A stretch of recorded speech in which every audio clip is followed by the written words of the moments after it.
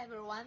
My name is Chen Xi Ouyang, and today I want to perform a traditional Chinese New Year song called "Zhu Fu Li," and wish everyone who listen to this song can receive happiness and good fortune in the coming New Year. Thank you.